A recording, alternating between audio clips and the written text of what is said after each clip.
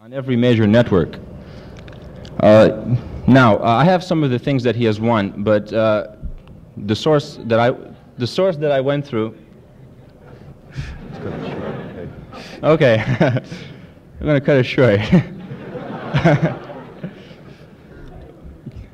Uh, in 1959.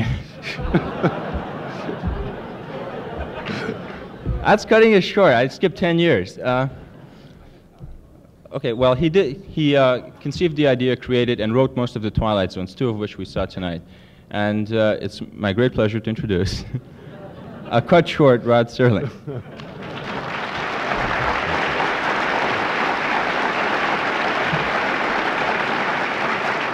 Thank you. Thank you very much.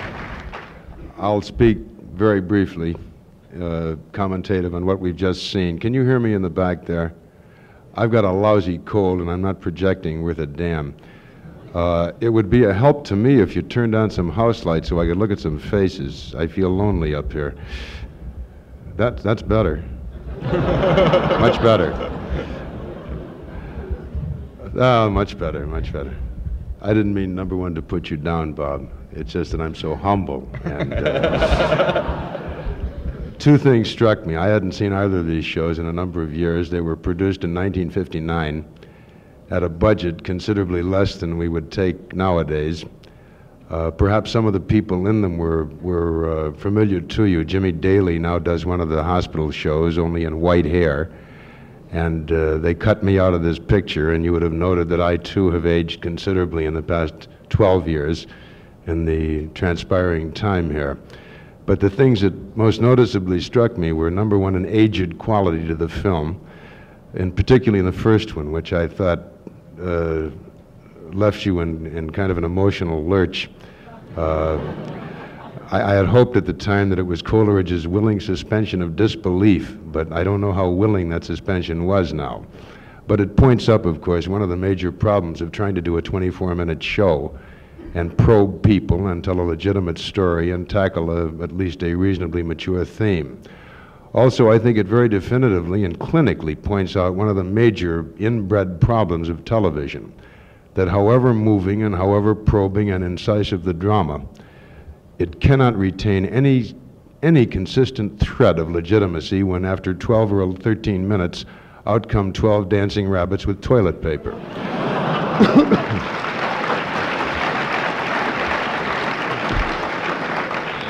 It, it puts the creator, particularly the writer, in a tough emotional bind, though, because obviously Sanka Coffee here, as tasteless and offensive as those commercials were, uh, nonetheless paid the freight. And, you know, how do you predatorily bite that hand that feeds you consistently?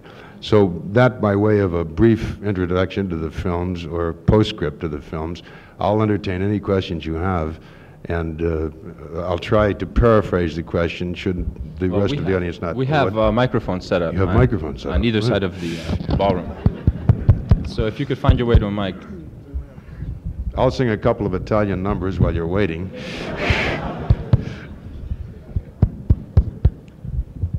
any questions from the audience? You want to come over here? We got a couple of microphones set up, he said. Hey, They're set up Yes. on the SC campus, but you'll get to them. Yeah, here we have. Andor. Um, Mr. Sterling, what's the major difference from writing for the Twilight Zone and now writing for Night Gallery? Uh, not very much difference at all, except that in Twilight Zone I had total creative control, and in Night Gallery I have not a modicum of creative control.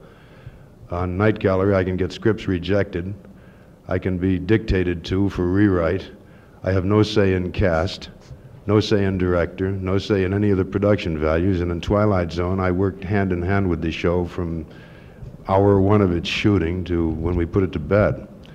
That's the principal difference. Also, we could use themes with at least a, a modicum of social significance in Twilight Zone, in which Night Gallery we've shied pretty far away from. But in essence, thematically, the shows are quite similar. We deal in fantasy, science fiction, this kind of thing.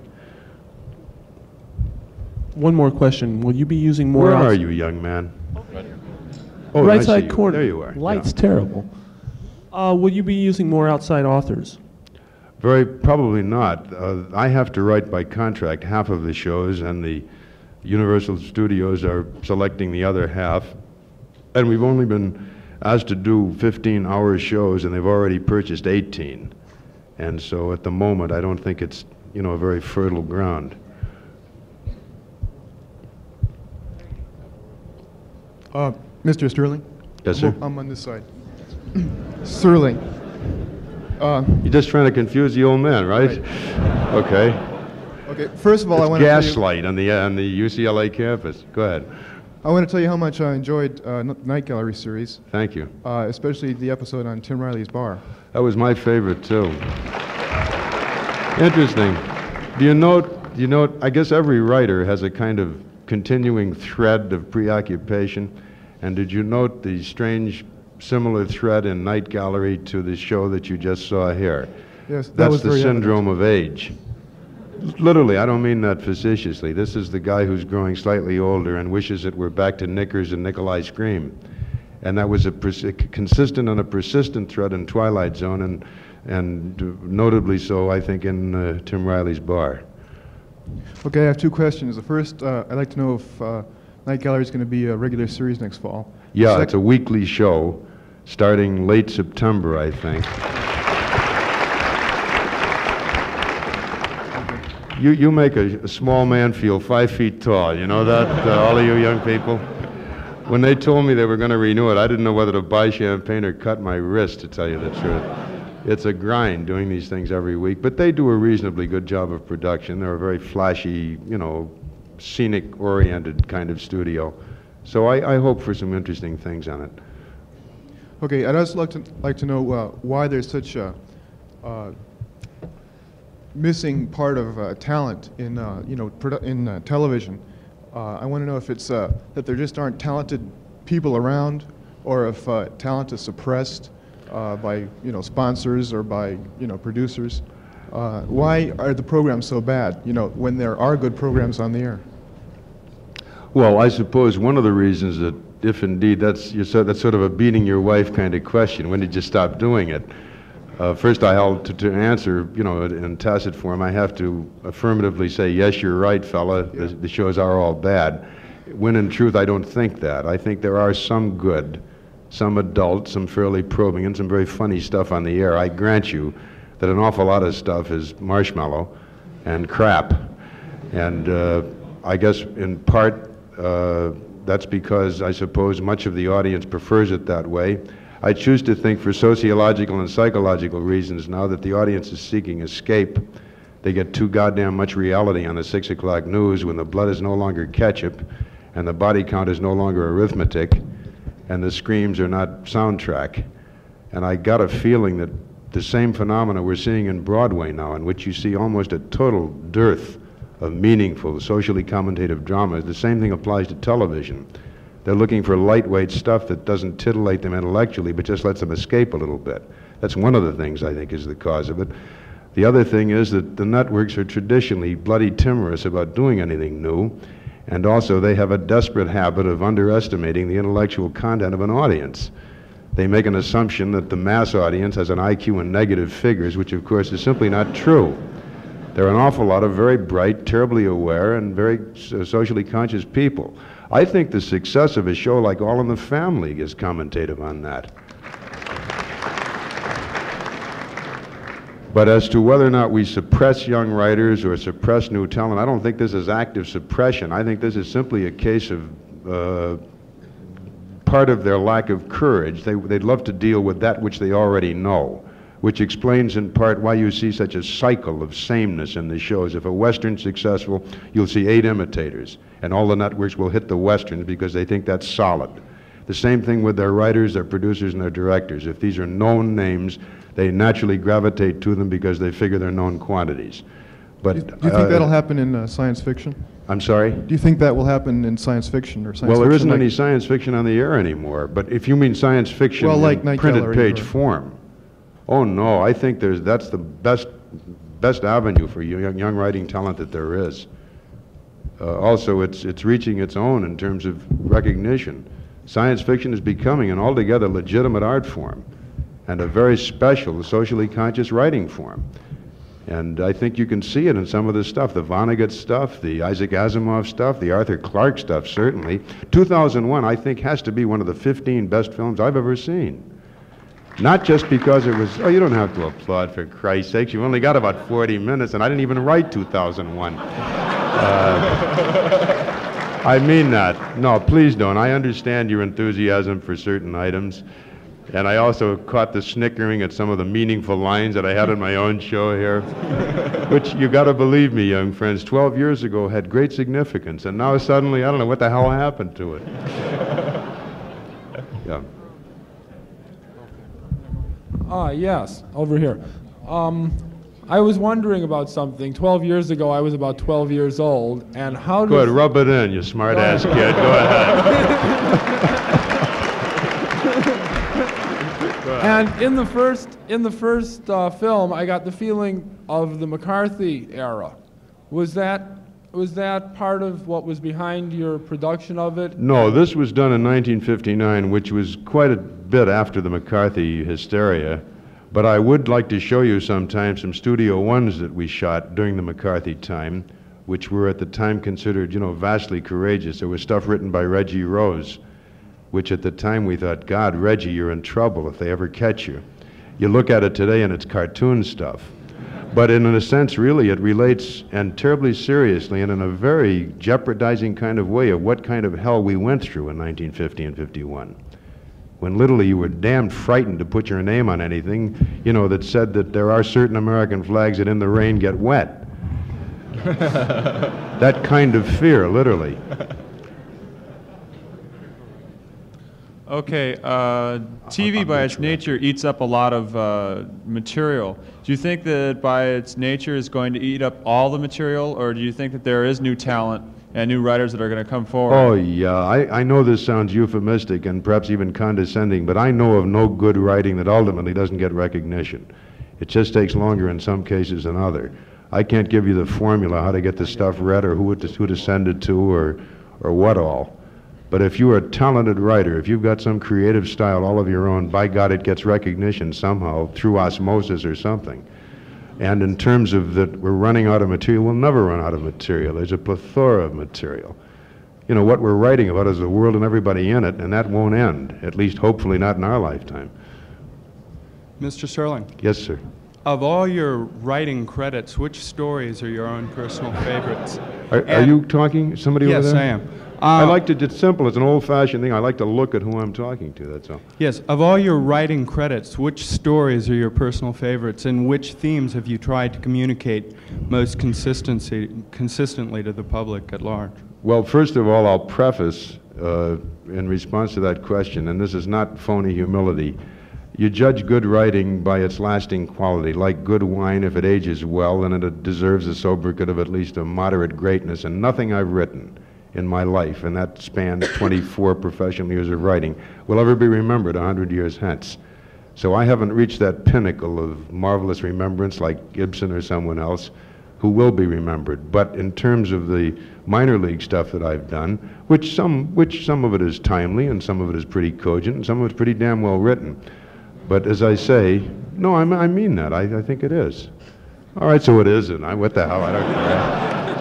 For no honorarium, I'm going to argue with you for Christ's sakes? Okay. I, I have a feeling that Requiem was probably the most honest thing I'd done because I knew the story terribly well and I based it on an, on an individual who I knew.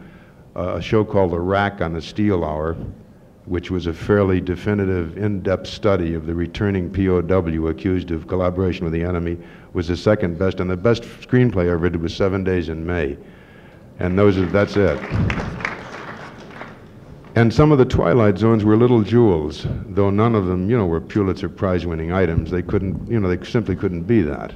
Which themes, which themes have you tried to... Age versus youth is one. The province of combat and war being another. I find that damned interesting, incidentally. You know, I, it, it, to me, it simply points out in a classic way the passage of years. There was a time 20 years ago when somebody said, and now here is Rod Serling, who served in a demolition platoon in the Army paratroops in the Pacific for three years, and I kind of preened like uh, kind of a nice young rooster. And now I kind of look a little shamefaced about that. No, truly, and I think it's, it's kind of definitive and, and terribly telling of the time we live in, when suddenly I can feel a little bit ashamed in terms of being in front of a college audience, uh, shamefaced about my military experience. But I note with interest Mr. Wayne, for example, has none of these compulsions and none of these compunctions. Mr. Wayne, you know, he gets up on every public podium and he says, drive him, hit him, kill him, you know, knock off the dink, kill the gook, do this, do that. and I think to myself, now wait a second, I think John Wayne is a pretty fair actor. I really do. But I question the credentials of a man who has fought three major wars in the back lot of Warner Brothers Pictures. uh,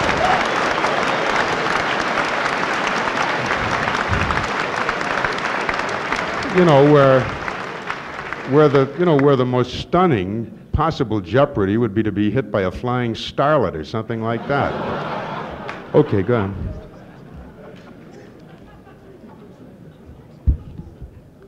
Uh, about Storm in Summer. Yes, ma'am. Uh, where did it come from, and would you describe a little bit of the creative process that's involved? Uh, Storm in Summer was the question, and that was the Hallmark show that was repeated a couple of weeks ago, I guess uh, which interestingly, interestingly enough won an Emmy as the best drama of the year, and Ustinov got an Emmy, and I didn't even get nominated. And I think there's anti-Semitism or something running around this town. Uh, it, it, it, took root in my reading of the what I found terribly divisive and very ugly anti-Semitism on the part of the black and anti-black feeling on the part of Semites. Uh, what, what, you know, what have you, Jews. Jewish people. Uh, I felt terribly unnerved by this phenomena because I could never understand why two ethnic minorities could ever hate one another because they share so much. I'm not trying to make a sociological equation between the plight of the black in America and the Jew. Obviously, they cannot be equated. But there is a sameness in anguish and a sameness in, in a reaction to prejudice. And I felt that the, the desperate irony of this kind of anti-Semitism and this kind of anti-black feeling by two ethnic groups who had no business hating one another. And I tried to dramatize, you know, what has to be the meeting of all minds and all hearts. And I tried to take the most, you know, totally disparate people I could, an aged Orthodox Jew and a little embittered ghetto black kid. And I was not totally enamored with Ustinov's performance. He's a consummately skilled guy, don't get me wrong but he's not Jewish. Uh, in the rehearsal, the first word he said was pastrami, and I knew then we were in trouble. Uh, but he was so skilled that I think he carried it off by and large. But I wanted Zero Mostel or Sam Levene, who had a definite ethnic consciousness. You know, they understood the colloquialism of, of, of talking, speaking Jewish. Uh, but I thought, by and large, the show came off uh, pretty well the, the little black boy, uh, Guy Dixon, I thought was just lovely. That, that's Ivan Dixon, a marvelous actor's son. And Ivan's an old friend, and I was delighted his boy had the, had the role. Do you have any say so? Oh, I'm over here. You were over there? Oh, yes. Do you Hi have there, any say so in who portrays the parts of the characters? Uh, and who is cast? Uh-huh. Well, sometimes in my own show, I had total say-so with, of course, the approval of the network and the sponsor, which at times could get rough. Now, in the case of Hallmark, they have their own list of stars, so-called, who they will permit you to cast, who they think are commercially feasible or exploitable. And in the case of Storm in Summer, they didn't like either Sam Levene or Zero Mostel because they didn't think they were universally known to a television audience. And they gave me the following names Ernest Borgnine to play the part, and uh, uh, Melvyn Douglas. Both awfully good actors, but both uniquely unfitted for this role. And this kind of playing catch with a sponsor reminds me of why Twilight Zone went on the air in the first place. There was a toilet paper manufacturer named Delsey Tissue, and an old guy in Neenah, Wisconsin, who ran this toilet paper company and he had been sponsoring Steve McQueen in Wanted Dead or Alive, which was a shoot 'em up, you know, terribly black and white type western. And he loved it because it was very simple. It was kind of like a universal passion play in which morality was very identifiable and always won over the evil. And when the show went off and he was left in the lurch, he said, I want another popular, a sociable show. And uh, they offered him several shows, and he said no, that they didn't fit his sponsor image. They didn't enhance it, keeping in mind that it was a toilet tissue. And the shows that he, the shows that he rejected, the first one was Black Saddle, and uh, and the second one was Rawhide. That was the other one, and that's how Twilight Zone got born. Thank you. Yeah, yeah. This this girl here was first. That lady right there. Why did Twilight Zone go off the air? I think it went off by by mutual agreement. I was pretty fed up and tired with the show, and the network had felt that it was time to change. And it was on for five years, which is a long run for a show. My agents were terribly disturbed because in the old days the agents got 10% off the top, you know, win, lose, or draw and they had made considerable funds on this show. And when it went off, you know, there went the old gravy train off the track. But I was delighted because it was six in the morning till nine at night, five days a week, and then working writing all over the weekends. And I was on my way to a fast sanitarium there for a while.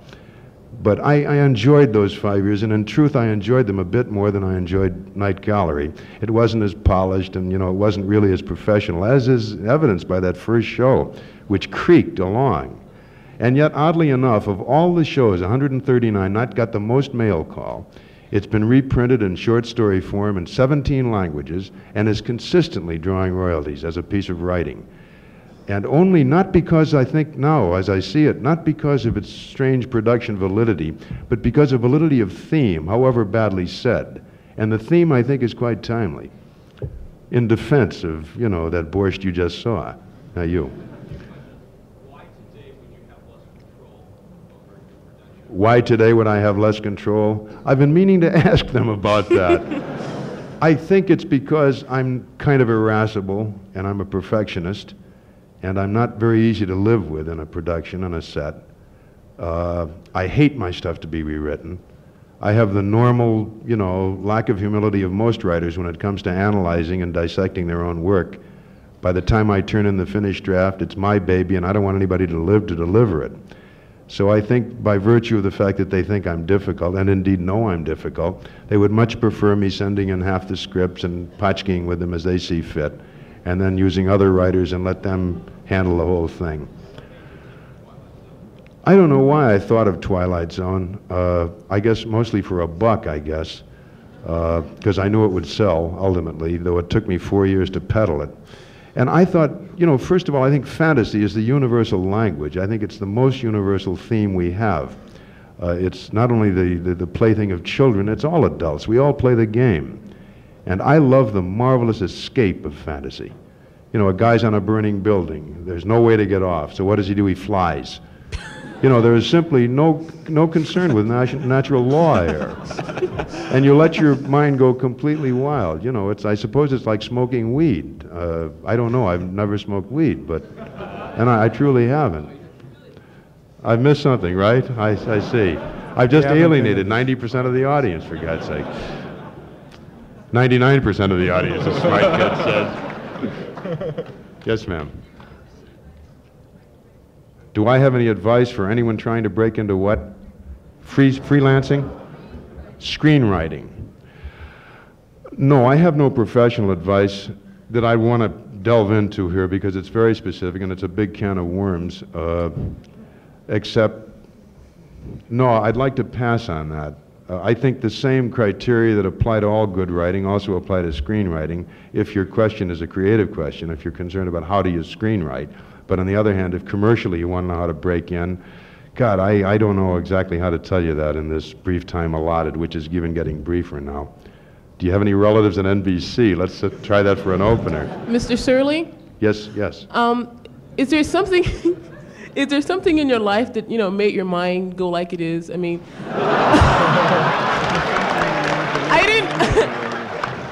I didn't mean it. Well, I when I was it. a young kid, my parents used to play jokes on me, like when I'd come home from school, they'd moved. and, uh, uh, No, no, my mind doesn't really go that didn't, way, I honest didn't to God. mean it. I didn't mean it like that. I mean, like, you know, a lot of the stories that you come up with, you know, they're really neat old stories, but, you know, they're kind of, you know, who would think of them, you know? I mean, like, is there something... Is there something? Is there something that happened to you? You know that. Not coming out the way it started. Do you ever Um, get hit in the mouth by a middle-aged man? uh, no, I don't think that my predilection toward fantasy and science fiction and irony uh, stems from any, you know, vast childhood trauma at all. I mean, does it Uh, reflect your personality, your stories? A ref- say that again, would you? Are your stories a reflection of your personality? I think, in part, all writing is in part, perhaps unconsciously or subconsciously, a reflection of a writer's personality. At least in truth, it's certainly a reflection of his views as to human values. God knows it's a reflection of his political thinking, for the most part. But as to what facet of his own flesh is, is, can be related to on that screen, I don't know. So you think that your the main way you had to get things across, your ideas and your beliefs across, were through fantasy and science fiction? I I didn't get that one. Do you think that the the best way you could get your ideas and beliefs across? No, no, not the best way is through science fiction. It's one way. But I think, for example, uh, I did a show on Night. You know, wait a minute, that was fantasy too. One thing, for example, I hate hunting. I'll give you an example of how it works, how you trigger something. My wife and I were invited to neighbors, a neighbor's house a, a few months ago, oh, several months ago. And we opened the door, and there is a rhino head on the wall. The ashtrays are elephant feet.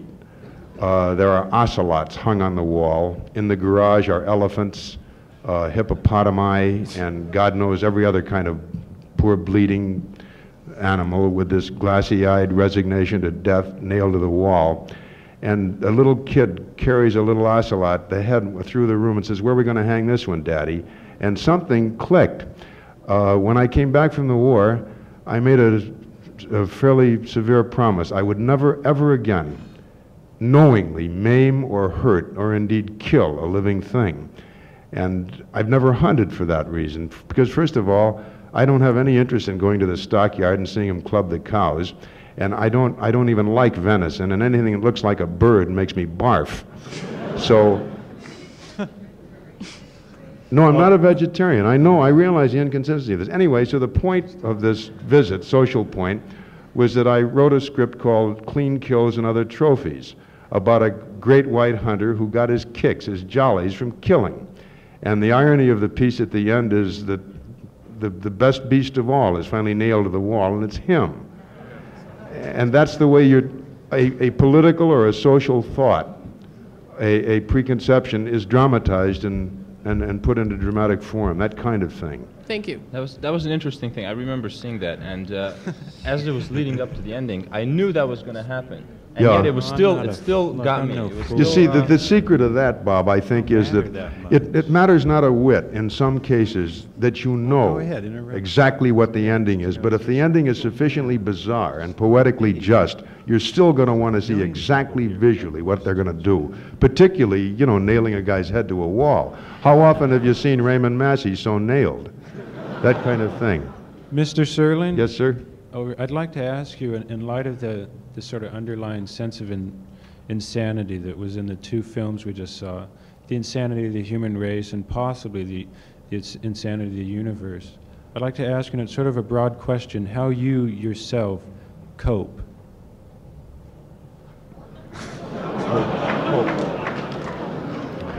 I- Well, first of all, it's, I, I, you, I understand that you're a boxer and, and stuff like that. I I- can't, bo- I boxer? can't box worth shit. Did you say a boxer? I didn't hear. Did you say you understood Yeah. I was a boxer? Yeah, one time. Yeah, but I like was the only fighter who had to be carried both in and out of the ring, and I think that should be made mention of. This is when I was a kid, for Christ's sakes, before all of you were born. This is I was 18 years old, and I'm 46, so figure it out. No, you're so I don't want to be nailed for that crime. No, no, no, I'm joking. But how do I cope was the question, Yeah, right? Yeah. Cope against what? Uh, the picture Cope you gave with what? The picture you gave in the first film uh, on the Maple Street, and the human race slowly destroying itself, gave sort of, a, let's say, a bad image. Your faith in mankind, if that reflects your attitude, it implies sort of not much faith. I'd like to know how, if that's how you feel, at, at least at times, or that guy who had to escape to Willoughby and all Willoughby was was death? Well, I have to answer that on two different levels because truly they're two totally different thematic approaches. The first one, I don't suggest that I am so hopelessly and totally resigned to the ultimate destruction of the human race that this is what motivates my writing. I submit that philosophically, if anything can be drawn from that piece, is that there are, are forms of violence which are simply prejudice and bias, naked hatred, which finds ultimately its, its, its projection in violence, which can be self destructive. I don't suggest that, yes, this is what's going to happen to every Maple Street. I simply submit that this conceivably could be the end result of our mutual hatred. And I think we're seeing a lot of it today. As to the stop at Willoughby, I'm making a social comment about a specific group of people, guys who overlive. But do you have a difficult time knowing that and knowing that that still persists? Does that make it difficult for you to cope as a human being? No, because I guess in a strange way, I have a terribly, almost euphemistic, sanguine feeling about the human race. And the more I visit college campuses, and this is not condescending and it's not Dutch uncling, it's quite sincere, I have an incredible sense of renewed faith that the next generation that comes is the best read, the most intellectually oriented, the most committed, the most caring group of people I've ever met in my life. And when they lowered the voting thing to 18, I felt absolutely ebullient that Jesus Christ, the Aldecockers are going to get out and the thinkers are going to come in. Thank and you I, and much. again, that's not an applause line. That's not the Ronald Reagan line where, okay, 30 seconds, pause for applause. I mean that. Yes, ma'am. Oh, I was wondering. I really like your voice, and I thought, like you know, at the very beginning of the Twilight Zone. I beg you, pardon? You, you know that little introduction you have. You know. Yeah, yeah. Yeah, yeah. Um, could you could you just sort of recite a little bit of it? i'm just.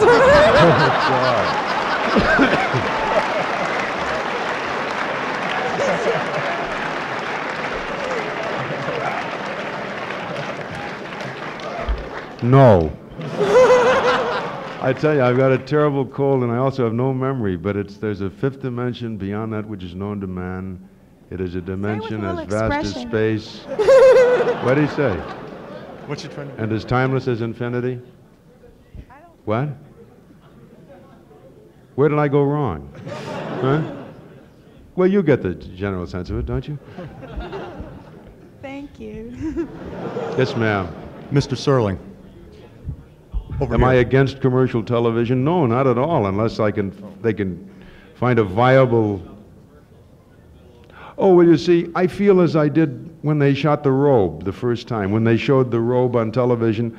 Now, you don't necessarily have to be a Calvinist or a religious nut to accept the fact that there is a certain somber quality to the story of the crucifixion. And the first time that this thing is on the air, every 11 minutes, uh, you know, I don't know who's being crucified, Christ or Arthur Godfrey. Because Arthur Godfrey's on the screen condescendingly patting some little kid's head and selling some shit called Axion. and I truly, I thought, God damn it, I've been offended throughout my lifetime. I've been mostly offended by the treatment of the black American on television and in the old movies.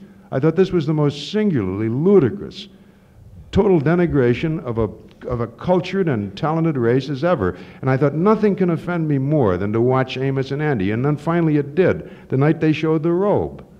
And then finally, Ford came back and redid it on ABC and didn't have a single commercial in the body of the show. Five minutes in front and five minutes at the end, true, but nothing to disturb the pattern or the thread of that thing. That's where I think commercials should fit. Totally unrelated and completely divorced from the body of the show because they simply cannot sustain a dramatic piece with an entity so totally foreign as a, as a soap, as a detergent. Pardon me? No, I don't think necessarily television is better, but there is one facet. I think the documentaries are, you know, vastly improved. They're much more courageous. Agnew notwithstanding. Yes, sir. I'll get to you in a minute. Yeah.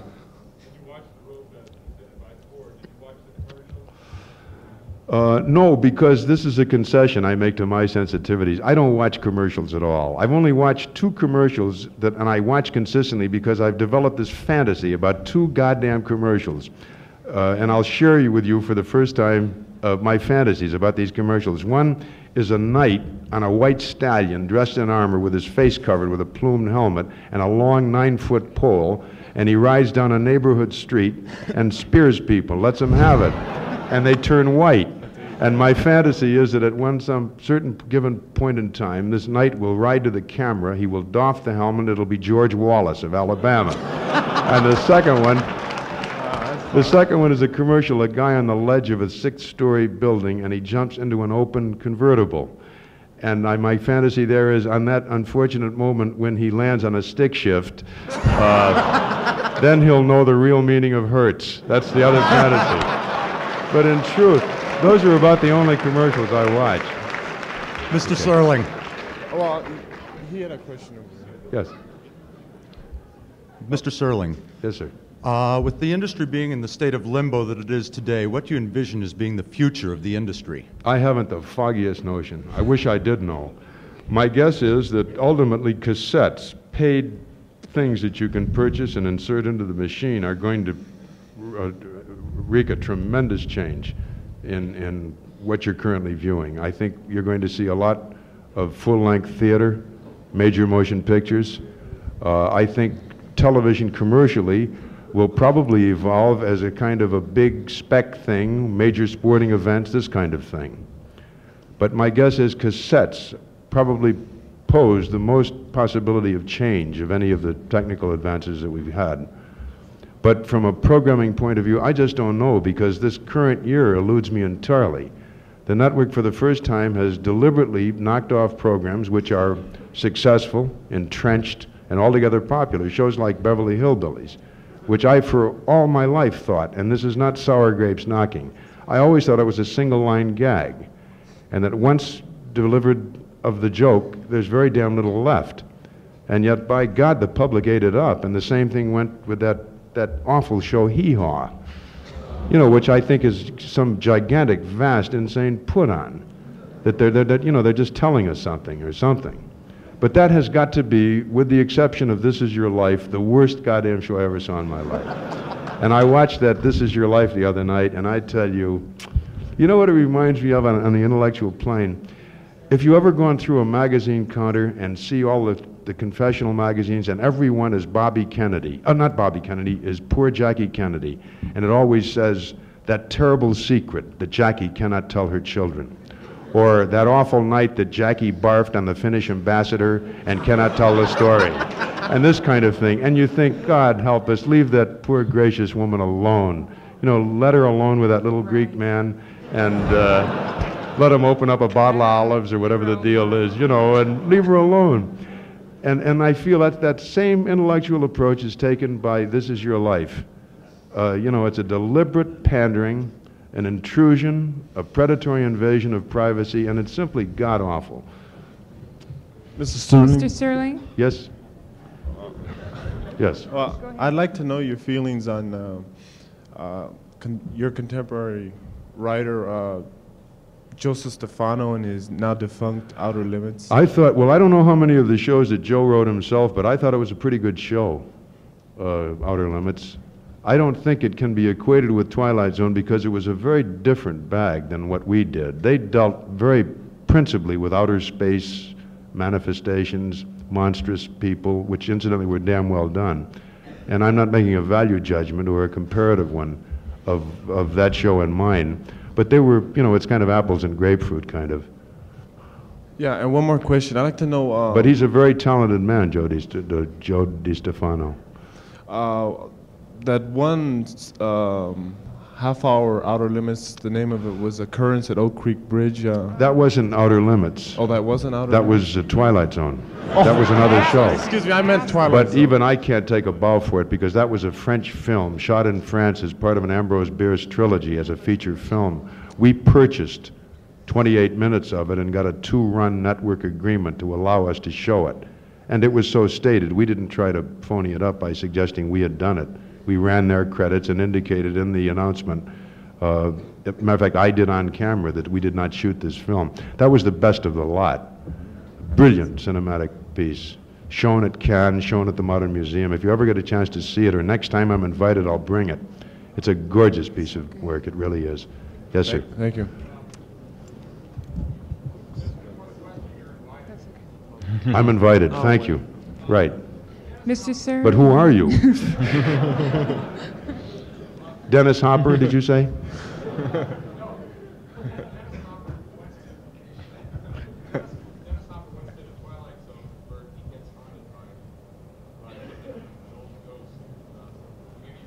Dennis Hopper, this is the question or the statement. Dennis Hopper went into the Twilight Zone where he was haunted by an old ghost. I remember the show vividly. It was called He's Alive.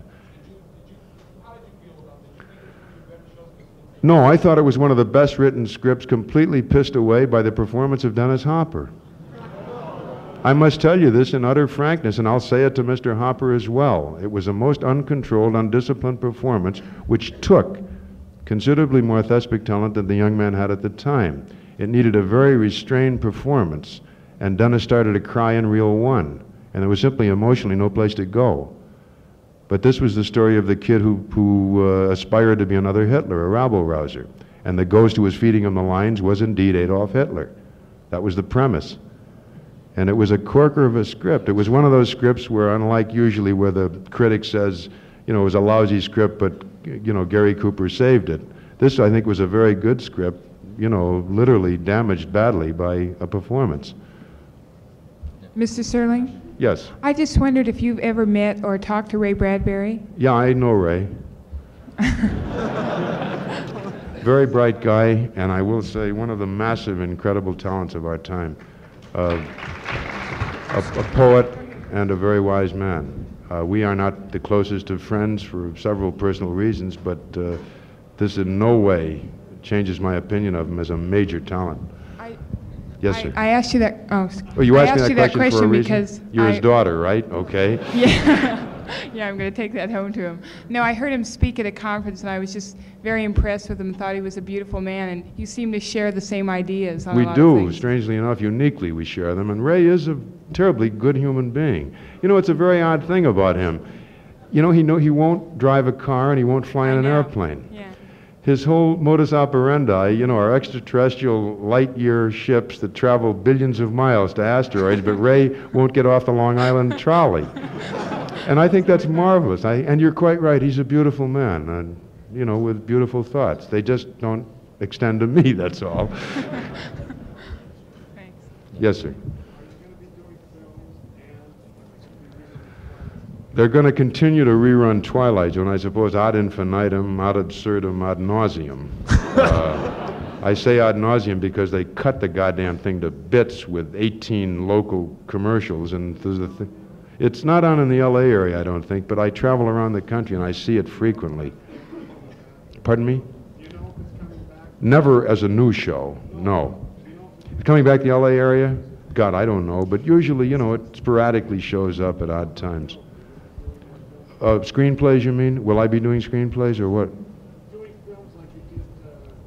Well, I'm doing this night gallery. Oh, after that? No, I don't think I'll ever probably do a series again, ever. Uh, well, you you uh, are doing or just finished doing The Man, the screenplay for The Man, didn't you? That's a TV movie, the Irving Wallace book on the first black president. And the only exciting thing about it is that James Earl Jones is doing it. And he's an exciting man, and, and I think he may save it because the script I find slow. You know, I admit certain faults. We've got about, what, five more minutes? Mr. Serling? Yes, sir. I believe the question came over there. Yes. I feel like I'm at Wimbledon watching Trabert versus Gonzales here. I'd just like to know what are a few of your favorite Twilight Zone episodes? What are your pet episodes? Well, up until tonight, the, the Monsters Are on Maple Street was, but now I'm not so sure. Uh, a one with Burgess Meredith called Time Enough at Last about a bank teller breaks his glasses. I thought that was a lovely irony. Uh, a show we did with uh, Jack Warden called The Mighty Casey about a robot left-handed baseball pitcher. Uh, a show that Dick Matheson wrote called The Invaders with Agnes Moorehead about the little men. Story about an ugly Italian butcher. Oh, that wasn't on Twilight Zone, was it? What about what about the one That with the Marty. gremlin That on was the a little airplane? joke. Yeah. What about the one with the gremlin on the wing of the airplane? Uh, that was an, uh, written by a very good guy, now deceased, named Chuck Beaumont. And an interesting show. And, and another one that, uh, that we did called The Odyssey of Flight 33 about the jet that goes back in time. That was another good show, but so much for that. You're going to make me weep. No, he's got a, he's got a question already. I'll get him on the next shot.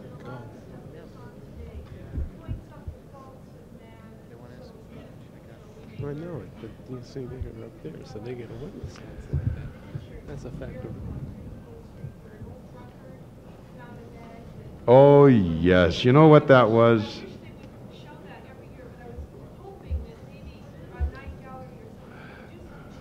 Well, I'm doing one on Night Gallery, not dissimilar in theme, called The Messiah on Mott Street. But the young lady made reference to a marvelous Art Carney piece we did, the name of which totally eludes me, about a drunk who's a store Santa Claus who finds a completely, you know, a bag of plenty which continues to throw out gifts. And Carney, well, you talk about beautiful people. Art Carney has got to be one of the stunning men that I've ever met. Apart from his vast talent, is the fact that he's a dear guy and the most predictably good performance. There are just a handful of guys who you never have to worry about, interpretively at least. Jack Warden is one, Marty Balsam is another, uh, Jack Klugman is another, uh, uh, who, uh, Art Carney is another, and uh, oh God, he played in the eye. Walter Matthau is another. I think these are the guys whose work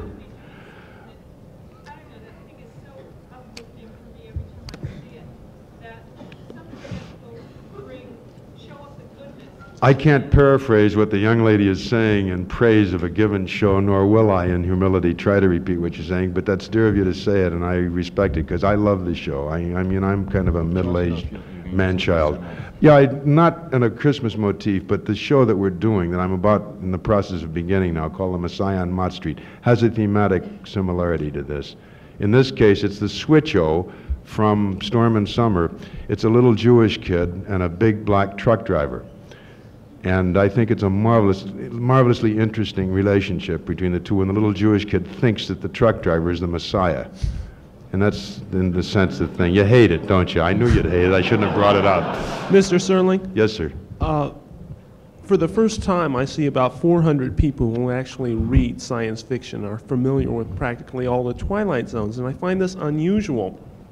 Because normally people, you mention science fiction and they give you a dirty look or they say, you must be kidding. And it, it's nice to see all these people who enjoy it. I would like to know, through the years, uh, TV he has tried to put on science fiction. The Twilight Zone was one, Outer Limits were another, there were a few bombs, and I think Star, besides Night Gallery, Star Tr- Trek was the last attempt at it, at conve- actual conventional science fiction. Uh, why doesn't science fiction go over in the extent that you see a good show on, like Star Trek? It goes on two years, and then Well, was it nothing two or three? Wasn't it three seasons? Possibly three. Well, I'll tell you, I don't know this for a fact, but I am told that Star Trek did not die on the vine by virtue of a lack of popular reaction. It died from an economic case of overweight. It was too damned expensive to do and derive a profit. And if you'll recall the show, it was beautifully, beautifully produced each week with an awful lot of hardware and a large cast. And the economics of television simply dictated that it leave by virtue of that. Now, and th- this, this old saw of science fiction appealing only to a small coterie of intellectuals or non-intellectuals, whichever the case may be, is simply phony because 2001 is a case in point. One of the big grossers at Metro released this, this rather obscure film shot by a kid, I think, who originally went to UCLA. Equinox? THX, THX, something, something, something. Big, yeah, whatever the name is. Big, big box office smash. Very, very successful film. So this business of science fiction films appealing to a minute group is, is simply uh, phony. And a second question I had, uh, which is a little off the topic, but who's doing your voice on all the commercials? I don't know who that kid is, but uh, we're going to get him. We're going to get him one of these days. We're going to get him. Thank you. Mr. Serling? Two more, and then we'll cut Mr. it. Serling? Yeah.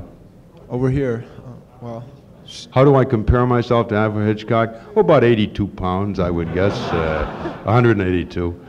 Uh, no, I don't. I didn't fill the same function that Hitchcock did. He was relief on his show. He was funny.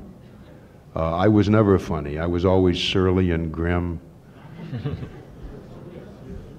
Oh, totally different usually than Hitchcock. Hitchcock rarely dealt in fantasy, though on occasion it did. But by and large, these were horror stories and detective stories, murder stories, this kind of thing, with bizarre, funny endings, you, the, with the use of irony. Uh, but and and the, the similarity being in the surprise ending. The Hitchcock show often had surprise endings, much as we did. But Mr. that's Serling. way. Huh? Yes. Excuse me. Does my memory serve me correct in the fact that I heard your voice do several cancer commercials?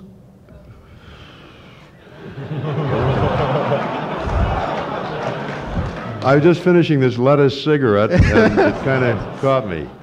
Uh, yeah, yeah. I, I guess the sense of that is what you're trying to say is Right. that, uh, do as I say, not do as I do.